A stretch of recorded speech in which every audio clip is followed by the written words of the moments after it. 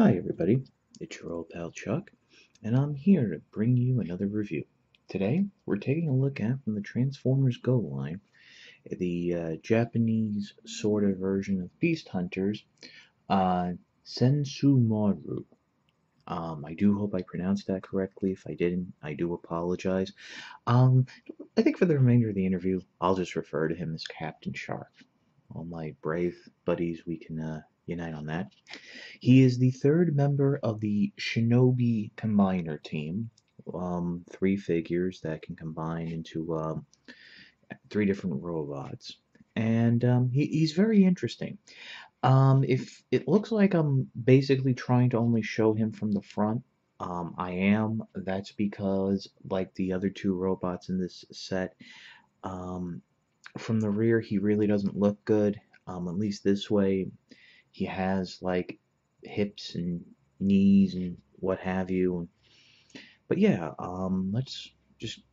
He's predominantly purple. Um, I don't know why on my camera he's coming out a bit more blue.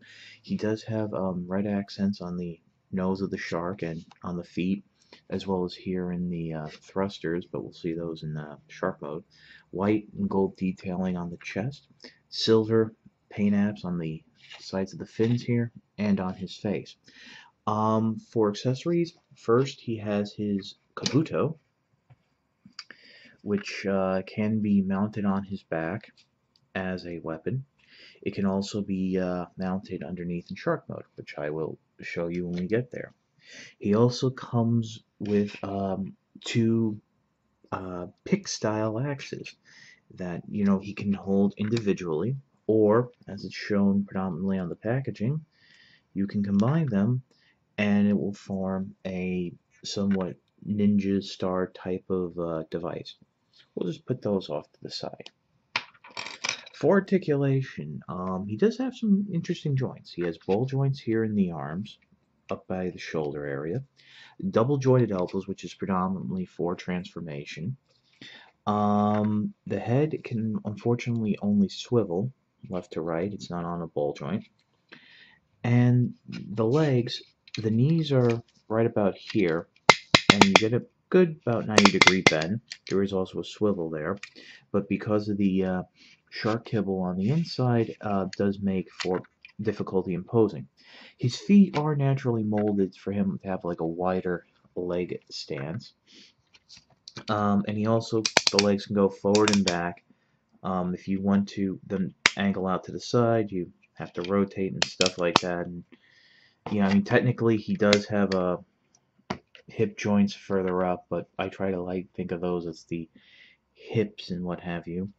But yeah, all in all, this is a kind of cool looking figure. I mean, I, I kind of dig it. But uh, let's get to the transformation. For the most part, transformation is relatively simple.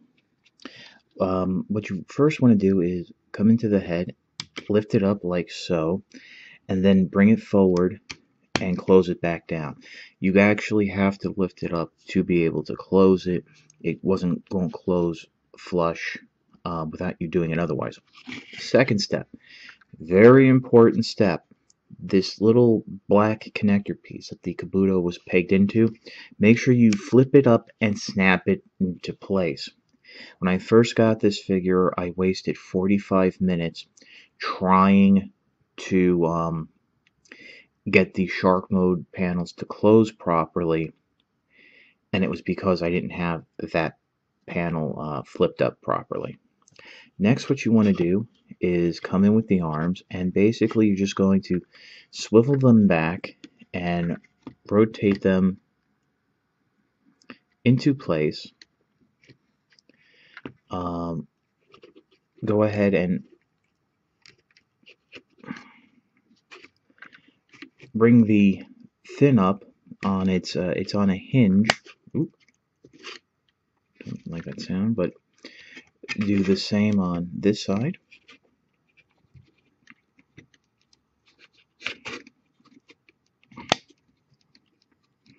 And just bring them up like so, and they'll peg together. The hands really don't peg together per se, but I mean that's how basically it should look.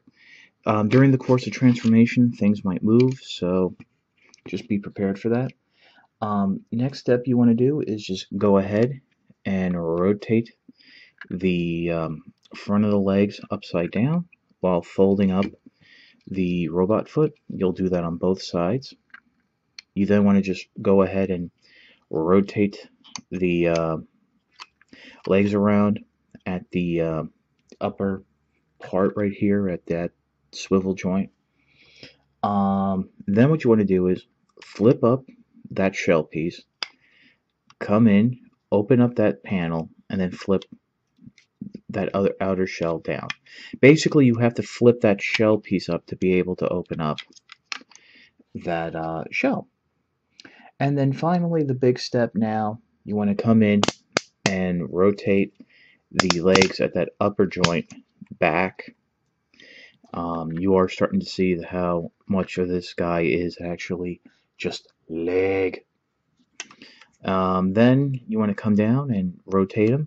And as you do so, go ahead, flip the um, shell pieces in, like so. Uh, there's a tab underneath at the base that they should peg into together. Here we go. And uh, they will peg together. That will, will become now the thrusters. I hope I did that right. Um, yeah, hopefully that works. Next, this little, uh, what was the front skirt, just push it in and it will uh, fold down and peg into the underside of the gullet of the shark. Um, next, what you can do is take the two thrusters and disengage them from what was the legs and then they will swing out forward and they should and they will peg into the front. And hopefully nothing came undone. I am checking just to make sure.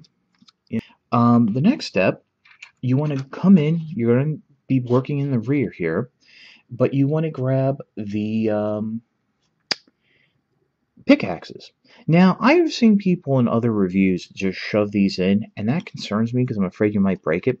There's a little notch here on the tip that's going to slide in quite nicely onto uh, a groove in the rear, and these will become the tail. And I have to say, I think of the weapons that these guys, that these members of the team come with, these work the best in terms of in um, incorporating into the alternate mode. Finally, what you want to do, and this is the test to see if you've really uh, done well, is come in and fold the side panels up. There is a few gaps here and there, and unfortunately there are no panels here to cover up the legs, but here is uh, Sensuimaru Captain Shark in his shark mode. And yes, the mouth can open. In shark mode, much like in robot mode, uh, you can store the Kabuto on the figure. I think it's time to uh, combine this guy up.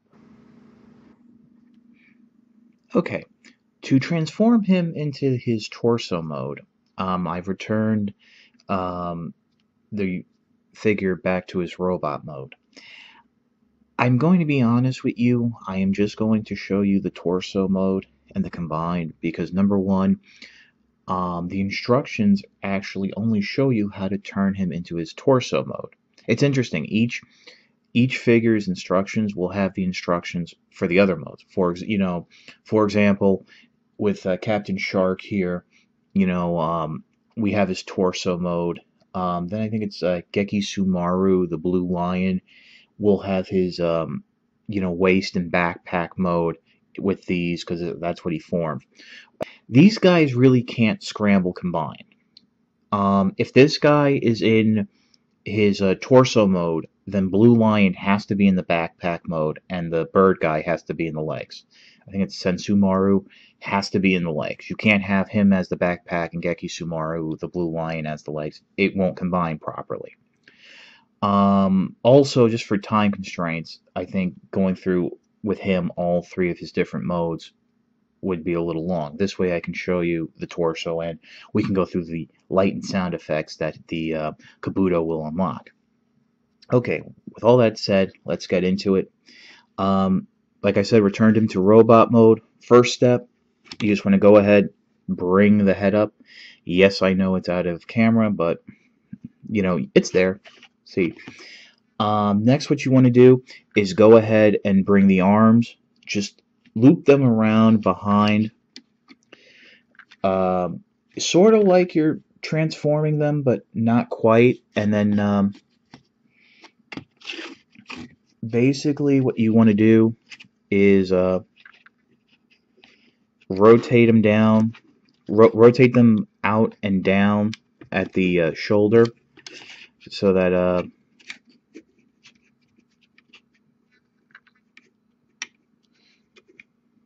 um, you know they, they look sort of like this.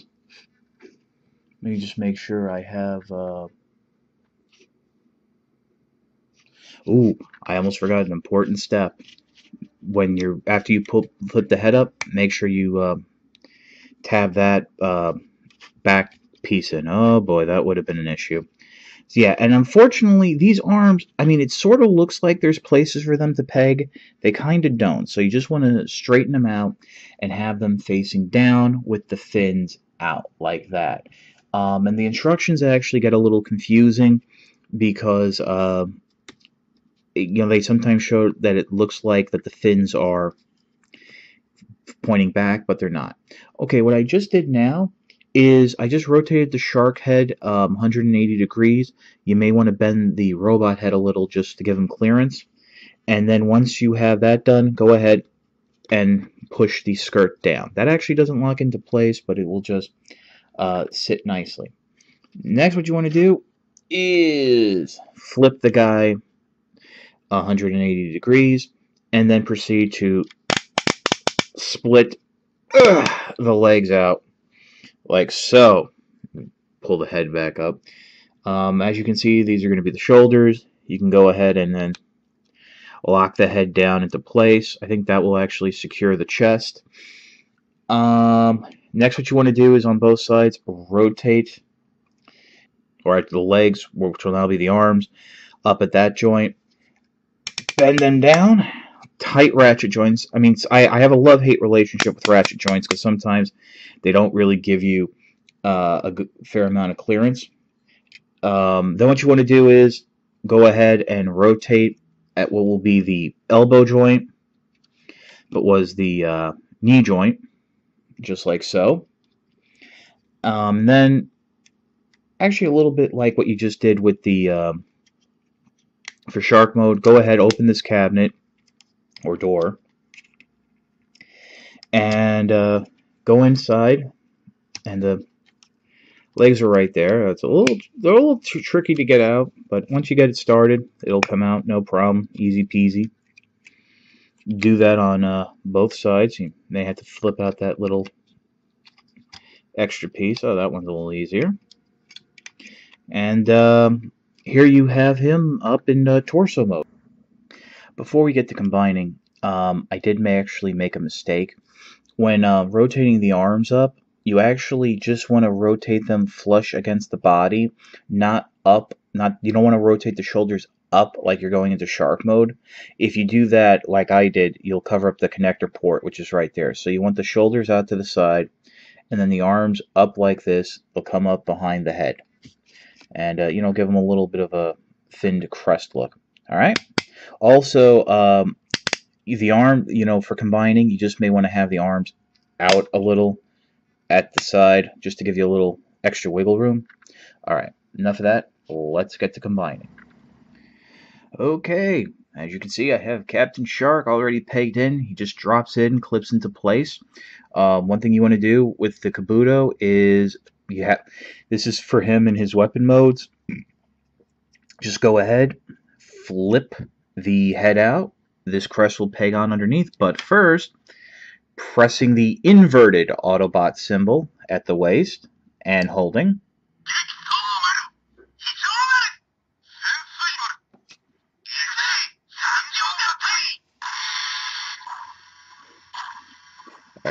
Seriously, somebody tell me, doesn't this sound like the beginning to innuendo? Man, I love this. Okay, there's two clips here. Going to go into the waist. As soon as they clip in, that will activate the final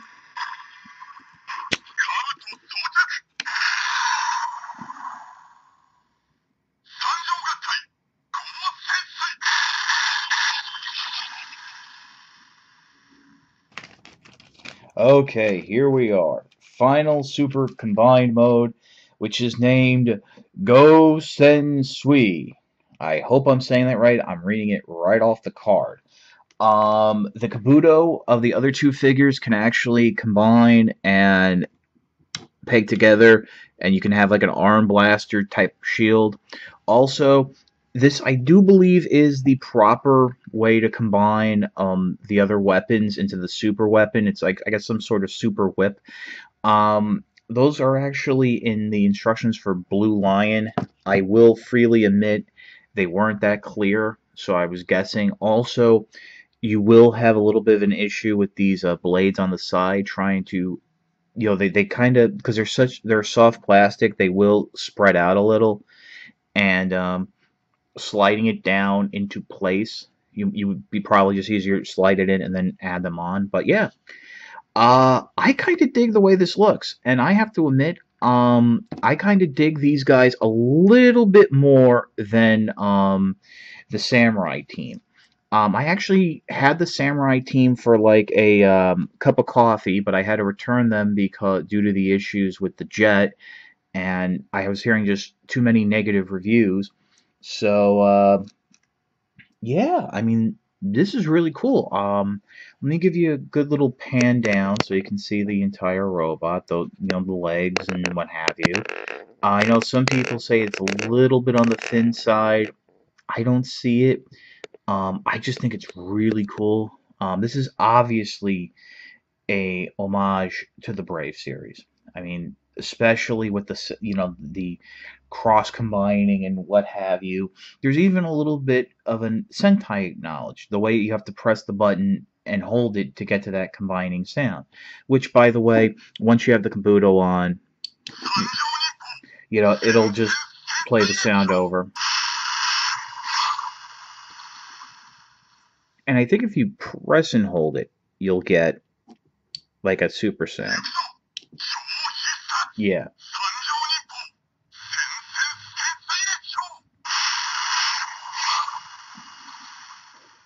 I think that's different. I might be wrong. All in all, I have to agree with uh, everyone else.